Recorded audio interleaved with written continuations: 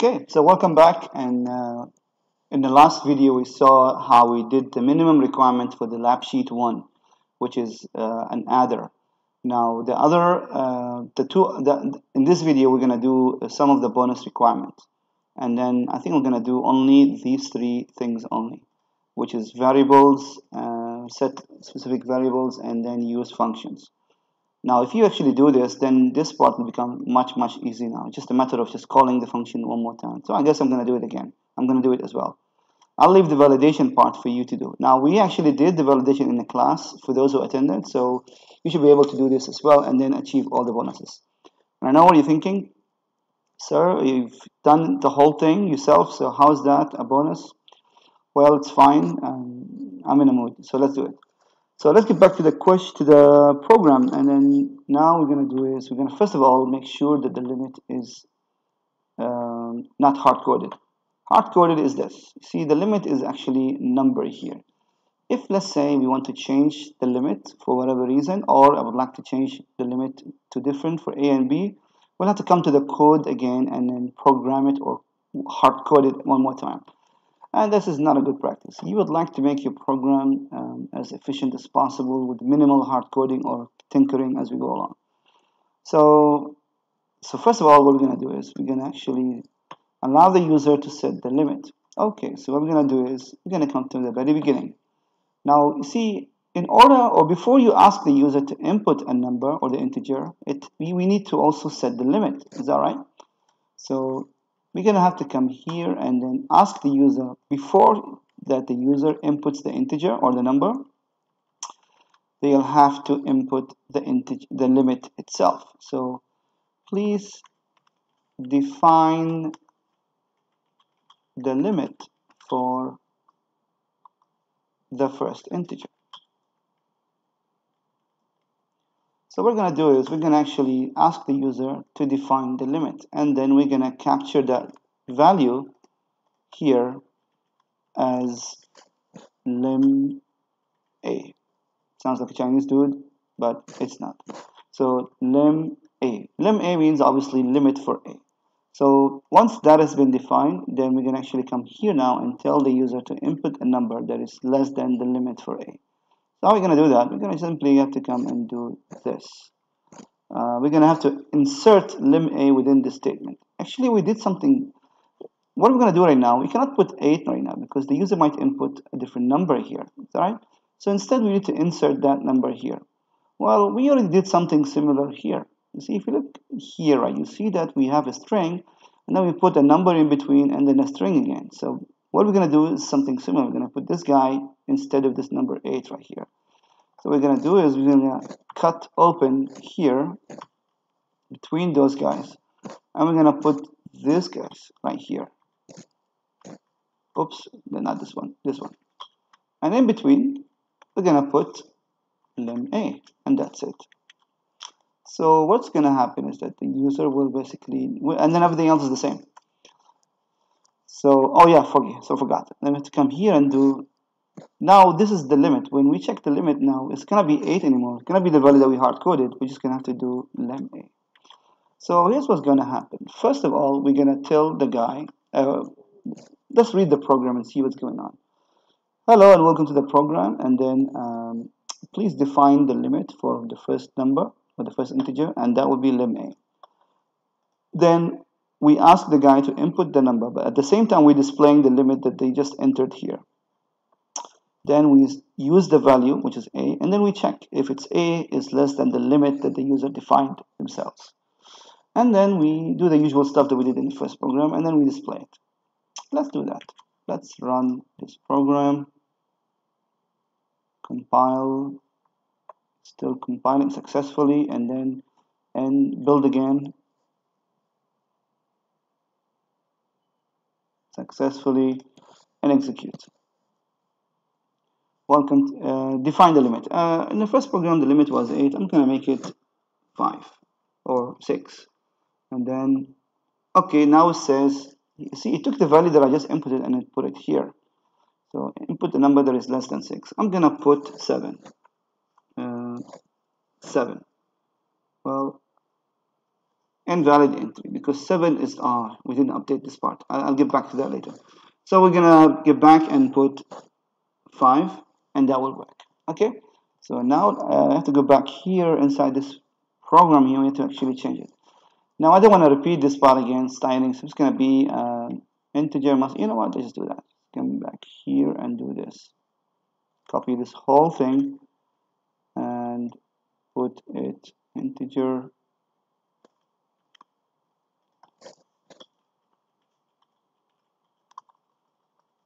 yeah I think that will do the trick. And then this one right here yes. Yep that will do the trick. Is that right? And then compile again. Build again. And execute again. So okay so uh, let's define the limit. So the limit will be in this case 7 input the number that is less than 7 okay uh, you know what I'm gonna put 8 for fun. No it has to be less than 7 oh, okay fine uh, you know what I don't care uh, no, 0 is less than let's put 9 8 again. No it has to be less than 7 so 5 yep 5 is good okay? It works so we, we were able to do this. Let's repeat the same process now for B. Well the easiest way is just copy paste everything but then uh, I don't want to do that. So basically I'm gonna first of all come and do this. So hopefully now you see the value of defining everything in one line like this. We just can add variables is that right? So then we're gonna do now is uh, the first integer is here versus the second integer. Uh, I'm gonna copy this line right here copy just gonna put it here and here and here but instead of A we're gonna put B here and here and here. Okay? Uh, of course lim B not limb biscuit. Okay so did I forget anything? No right? Uh, yeah I'll, I'll, get back to that in a minute. So I wanted to do something else but I'll, I'll do what? Problem? What's the problem? Did I do limb is defined. What's the problem? Oh I get it now. I did not add this line which is we did not capture the user value. So this line right here I forgot to add so let's get back here and and do this again. At this time we're gonna do second integer and I, I thought I was I forgot something. I thought I like there is something missing here. So yep now it's gonna work. Build again. And run again. So let's define the limit for the first one. You know what? I'm gonna make it 8 okay input the second number which is less than 8 okay that's a fine.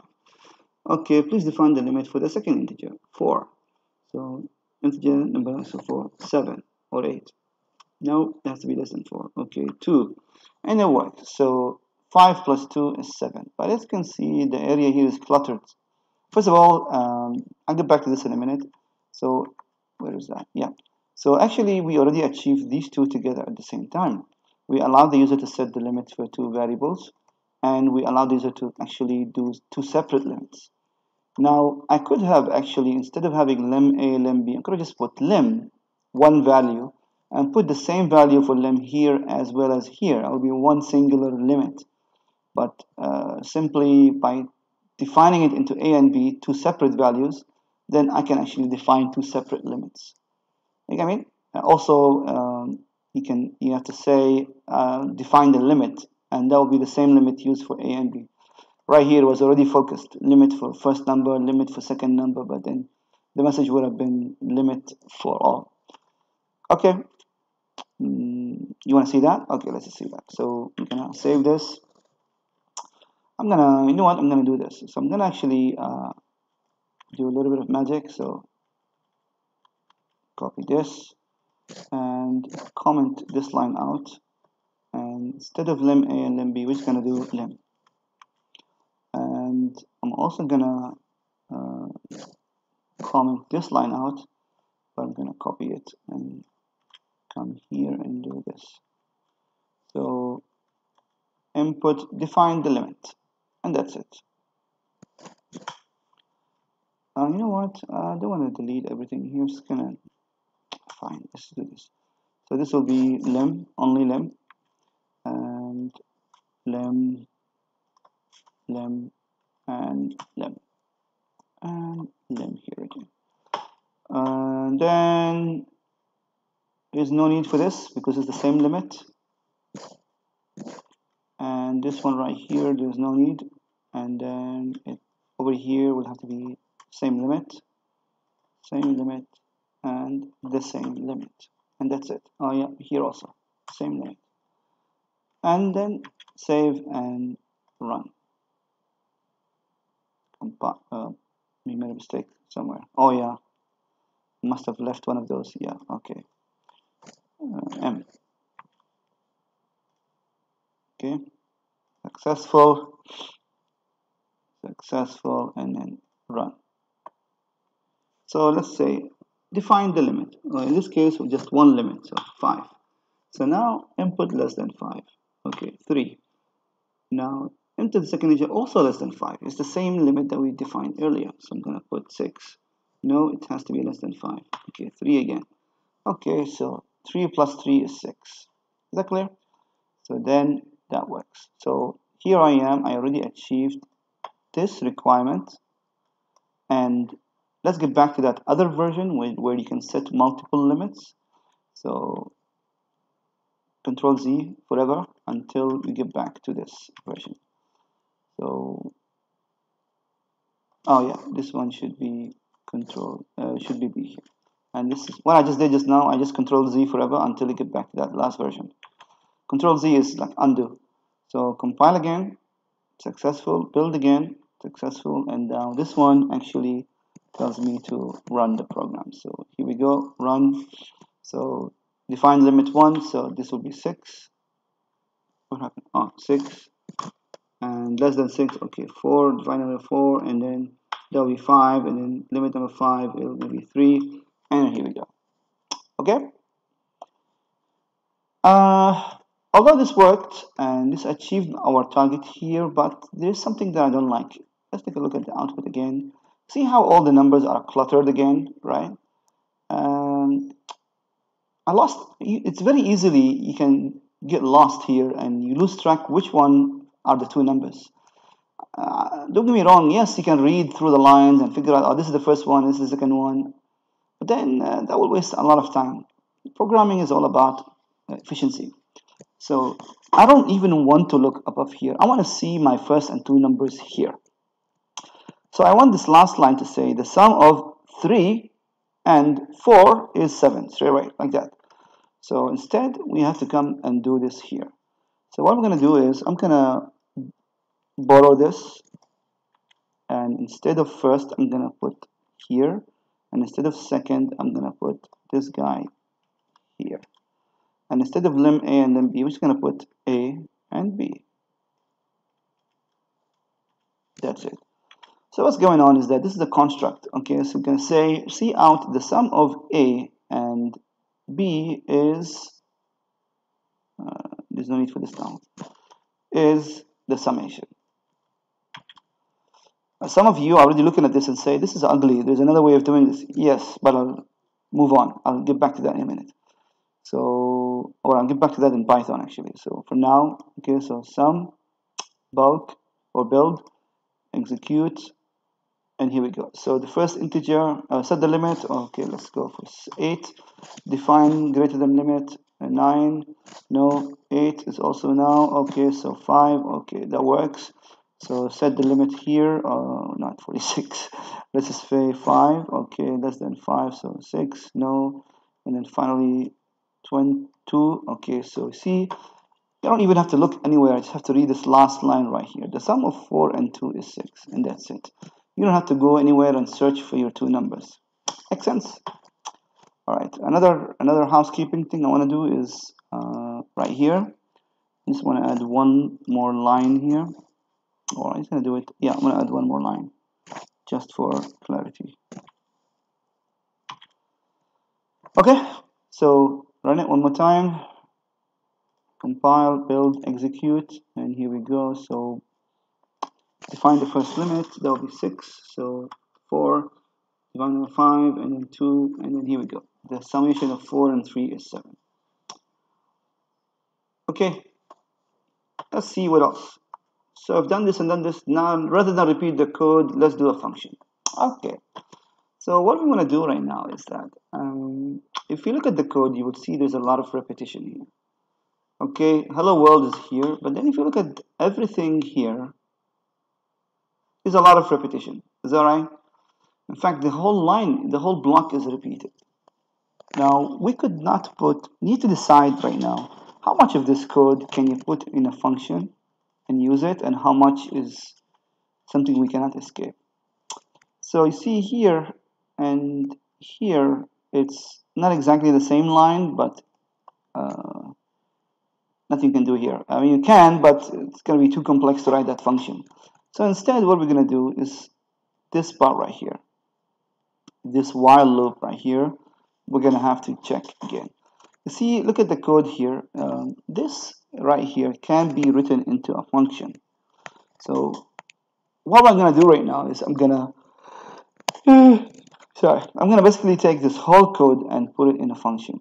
And this function what it's gonna do is gonna first of all is gonna take two values. It's gonna take the value for a and the value for the limit. Oh sorry the, it's gonna take the value of a number and the value of its own limit and it's gonna perform this job. And if the number is good it's going to return to me uh, is basically it's going to do this job right here for me. So instead I'm going to take this function somewhere here. Uh, C++ functions where is it? Yep right here. Function parameters. Uh, no just functions for now. So function you have to create this function right here. Our function okay another decision you have to realize you have to understand ask yourself does the function give you back a number? Will our validation function give us something in return? Uh, I have to say that it does return A, right, if it's valid, right? You know what, let's just do a void function for now, okay? I'll get back to that later. Now, a void function, essentially, it's a function that does not return anything, but it does a job. And in this case, it's going to be validate number. So what is the validation number? Uh, have to before you write the program to explain in your own word what does this function does. So uh, takes num, which is in this case the number, and lim. The, okay, it's not right good.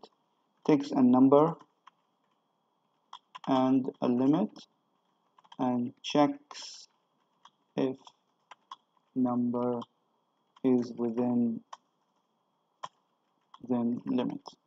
Um, there's another version of this which is pseudocode but um, it's a little bit if you advance so what this function takes num lim and checks if lim if num num is greater than or equal is that right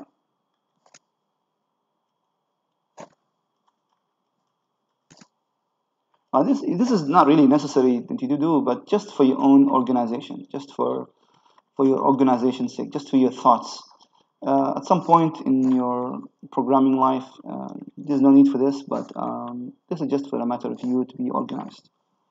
Uh, if you want to write it in your own words like this, or in your in a little bit of code or pseudocode, either way is fine, as long as you understand what you need to do. So in this case, it takes takes means it's right here so num lim and I'm gonna do I'm gonna basically take this whole while function right here copy and put it here. The while loop itself is going to be inside the function. Now there is no a and lim a it's basically going to be num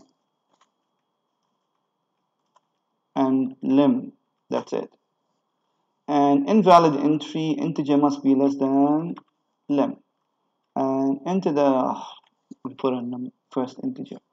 Uh, you have to sacrifice this re re-enter the integer yeah. Re re-enter.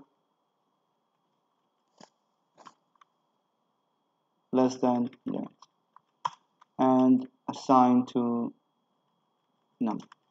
Uh, we're gonna have a problem with this but I'm gonna get back to this in a minute. We're gonna have a problem with this code. I'll show you why later but first let's just run this program and see how it works. Um, I'll just run it. Okay. Compilation failed.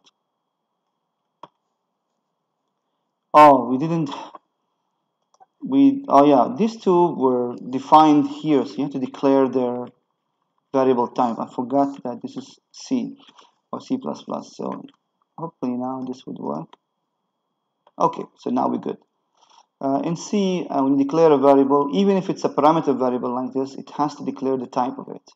So this would work now. Uh, nothing is going to change in the program. Uh, okay, let's see. Uh, I created the function and everything, and it's right here. It's all good, but let's run it. And you're going to see that at the end of this program, or, or that absolutely nothing changed. So three, and this is the second one. Uh, let's just uh, put four and put five here. No, okay, put three here, and then what happened is is that nothing happened. This program did not, this function did not do anything. And the reason for that is that although you created a function, uh, this is very important about functions. You create a function, yes, but you never called it. See, this validate number, you'll have to call it. So I'm gonna come here now and call it. So I'm to say validate. Oh, Geany is telling me already. Ah, oh, here's the one. And validate num takes two integers. So I'm to give it a and lim a. And this. And I'm to remove all of this. I'm to, oh, what's going on? Oh, this is, uh, okay, so put it here for now just temporarily put it here. And what do you think is going to happen? So the idea is, that validate num okay we're going to come here now. Going to take going to ask this to input limit and all this stuff. And now we have two values a and limit a. So we can actually capture these two values a and limit a and give it to this function. Okay what's going to happen then? Well we're going to go up here validate number. And inside this validate function is going to come to the while loop and which is going to run forever until uh, basically, and every time the number is going to be checked. So, okay, let's say the number is checked. Well, if the number is okay, then it's good. If not, then actually ask the user again, and then it's going to reassign. You're going to ask reassign the value again. So this while loop is going to keep on running until the value is correct. All right. So if you're already thinking what I'm thinking, and uh, you're telling yourself, sir, no, I know what you're thinking, but just run with it. So into the first integer, 5, okay. Into the second number less than 5, let's do, um, let's do a less than 10. So in the past, this worked, right? It still worked, okay. Oh, okay. Control C. Uh, let's get back to, uh, actually, all right so okay, let's try again so um, 3 or 4 then 6 invalid entry. Re-enter. 4 e-entry 3 okay 3 okay define the second integer. 5 okay third and second integer will be less than 6 okay that will be 4 and the sum first integer is your first integer is 4 and then 6 plus 4 is 10 um, actually I have a problem but I'm surprised that it actually worked. Uh, okay after we validate the problem oh yeah because after this this came on right? Um, yeah. Okay it worked but I want you to pay attention to something. Okay run this program again I want you to keep track of you know what uh, before I do this let's take b out of the game. Oh no cannot take. Uh, okay let's run the program. Uh, okay let's just start with this. Okay. Uh, define the limit. So 5 now pay attention. The number should be less than 5 we all agree on that. Is that right? So I'm gonna initially gonna give a 7 okay? 7 clear? All right. Run it it's not gonna work. I know. Just now we're gonna change it to something that will work. Let's say 3 okay. Check this out. It's still 7 so once again we started with this. We set the limit to 5 and then we put integer a as 7 it didn't work because it's not less than 5 we went through the, the evaluation as usual and then we put a correct value which is 3 which should be less than 5 which worked but then the value is still 7 what's going on here? This actually introduces the concept of variable scope. So a variable scope is what's going on here. See pay attention for me now. So we start the program in the main. Although this function is written before but this actually is the main function always runs first even though that this function actually is written before the main, it doesn't matter. The C compiler will always run main first. So we run here, we ask welcome the user, and we ask the user to set the limit. Okay, this is 7, and then we set, uh, sorry, uh, 5, and then we set here as 7. Yeah, and then we take these two numbers, and we go to the validation function. Okay, so now this is the number, which is in this case uh, 5, and this is 7. And now we come to these two num and lim and then we organize we do the checking here and everything and then we are done. Now the problem is is that right here the value that was updated is num you know what I mean this is the value that was updated or corrected but this is not the value of a. You see what happened is that after you do this we go over there, we change the numbers, everything here, but that updates that happen here happened inside this function only. Because what happened after that is that after this changes happen here, the, the function come back and it comes back to this line. What is it? It comes back to this line where we called it. And then it's going to actually print out the value for a, but the value for a is the same one that we entered in the beginning.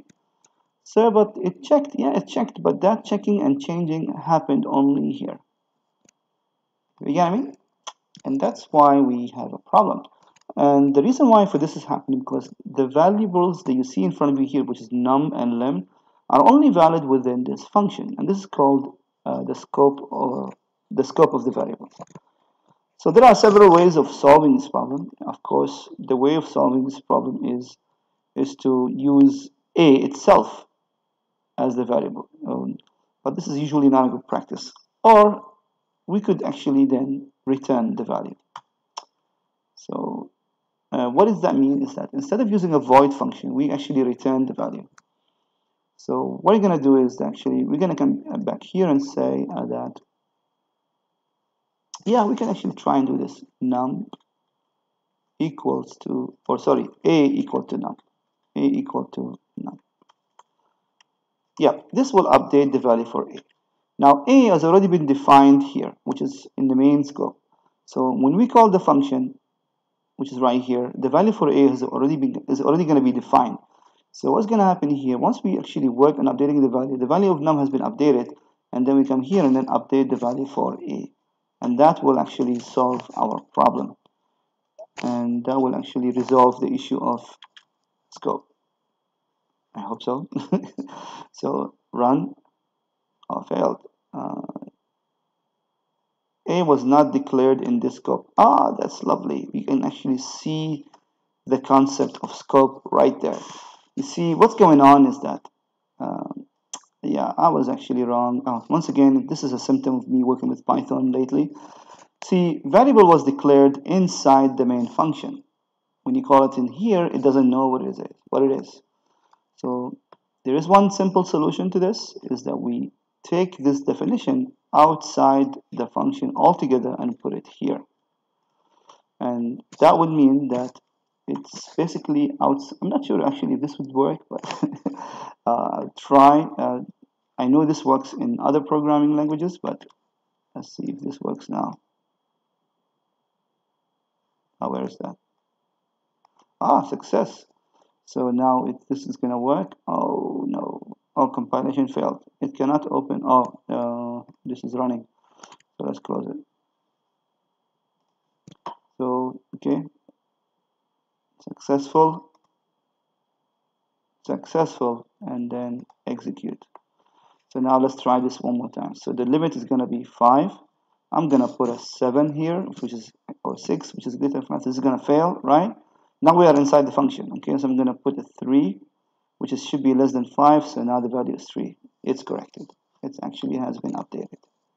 So I'm gonna recap one more time what happened. We in order to make sure that the scopes work so I put the variables right outside here. This makes them available in all functions. Now, if somebody you think, some of you are thinking, sir, why can't we just put a here and here and here?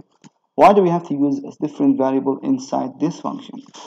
This is generally not a good practice because actually, no, this is still not a good practice because this function is not just for a. So that's why this is actually not a good practice. So instead, I'm going to do a return. So return none yes this is a better practice so here uh, num actually is an integer right so the whole function now is going to okay first of all why this is not a good idea. You see yeah which means also this is, wasn't a good practice. So let's get back to putting it all here. Generally speaking it's not a good idea to put your stuff outside of the main. And um, although this solved the problem but this is not a good practice either you see right here I put a itself inside the function. That defeats the very purpose of using local variables. And now you're thinking so what's the big deal? It worked well it works for a but what if I want to use b? Yeah? Or any other number. We need a function that will work for any numbers. So this practice right here is not good. Instead what we're going to do we're going to use return. So return so uh, what am I doing? Return is not here, but we're to actually return here. So the void function does not return anything. So that's why it's called a return. But here we're going to return num itself. And right here we're going to put integer. So now this function now actually returns a number, returns something, returns an integer called, which is equal to this value. So how are we going to actually call this? Well, this function right now will give you back a value. And that will only give you the corrected value. So in this case I'm just going to do this. Uh, this value is going to call this value. I'm not sure this is going to work. Well success. Compile. Success. So what's going to happen here is that okay I defined the limit and I defined a. Then I'm going to actually call a. So what's going to happen is that this a is equal to this function. What does that mean is that this variable, the value for a is going to be updated. It's going to equal to whatever value we're going to get back from this function. Usually, this is how you use a function when you have a return. When you actually return means you have a variable. So this now, this function is going to go and do this whole lovely work and it's going to give me back a value for num. And that will be actually updating the value for a. So when I print it here, it's going to be the updated version of a and not the old a. If you missed what I just said, you can rewind the video. So compile. I did that already okay. Run and then execute. So define the value for a okay uh, limit sorry so that's 5 6 no 6 no so 3 and the value is 3 what? So once again let's recap what happened. So what happened was is that okay I defined the limit okay define the actual value and then over here what I'm doing is I'm going to basically update the value for a. What does that mean? We can actually check the value. If the value then by simply it's going to be whatever value this function give us in the end. So by calling this function I'm going to give it a and the limit. I'm going to go here do this lovely work and then give me back the updated value which is the number. And that will be given back here and then it will be reassigned to the value of a now the lovely thing of this is that I can now repeat this line to as many functions or as many numbers that I want. So now I can just take this whole thing, copy, and come back here and put B and B and b here and we're good to go. Now some of you will be saying so what just put this line in the function itself? Can. We can actually do that right now. So I'm going to take this whole line x and put it in here outside of the loop not inside of the loop. Your not your integer no more first integer. Oh yeah okay your integer is and it's not a anymore it's num. And then return num. And if you're thinking sir if we put this here why we still need to return the value in a minute uh, this will come back in a minute. So then I'll come back here. Uh, check and update value. Check value yeah. Now this is too small so it can actually come now to put here and then the comment will be here.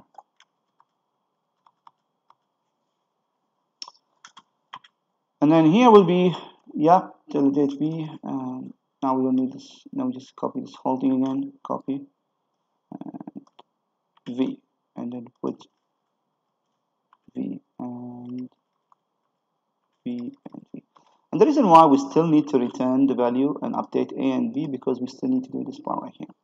We need to do the summation remember that? And then basically sum here. See how the program now is actually a lot more cleaner now using functions? So now uh, we can actually then uh, organize. Um, you know what? Oh, yeah you cannot return to function you cannot return to values okay so that's it. I would like to I was thinking is there a way we can actually not repeat this line as well? But um, no because they are not the same code. Because you have first and first and second second so it's not the same code.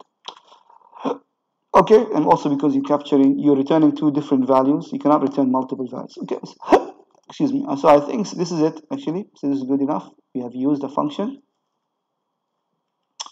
and uh, let's run it one more time.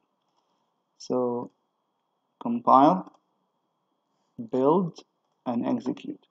So welcome to the program. 5 okay no 5 is not less than 5 6 is not less than 5 so 2 okay so that's second integer limit so let's go for 7 here so I'm gonna put an 8 9 7 no. So I'm gonna put a 3 yes. So your the sum of 3 and 3 is 6 and y. And we did it using a function. So this the validation function is right there. The main function is right here where we input the value for the user. And also where we actually uh, basically set, set up the function. And that's it. So that's basically the program. Uh, we have achieved basically everything. Oh yeah this last one right here. Uh, this is very easy now. Uh, I think this is very easy now to do because now that you already have a function all it's just a matter of doing is just copy and paste and modify. I'm not going to do it. I'm just going to show you how to do it. So now that you already have this you have to add another value here. You have to repeat this whole thing one more time down there but you have to modify the code to say third, third, and C, C, C, and all this stuff. And also you have to modify this code here and this function to be plus C and then add one more for C as well. It's too easy, then I'm not going to do it, then I'll leave you to do it yourself. So I hope this uh, can help you in your training and I hope this can actually help you out working on C. Now, by the way, I just want to comment, what's the point of this program right here? an adding program. This actually program trains you on several elements or functionalities that we're going to use throughout. Uh, there was an if statement here, but we changed it into a loop, so you already work on if statements. Then now you work with a loop. You also use a function. Uh, we talked about the concept of variables. Uh, we captured user input, and then we also worked on the concept of scopes or variable scope. You worked with different kind of functions, and also we worked on libraries. Uh, we didn't do a lot of math, uh, but uh, essentially, if we did, then we have to add this one more library, which is math. But anyway, this actually works, and I wish you all the best in doing the assignment. Now, once again, for the lab sheet, for the for this lab sheet, uh, I sort of until here already done, but you can actually complete this one easily now and then add the validation the same way we did it in the classroom. Okay, so all the best for you and uh, see you in the next video.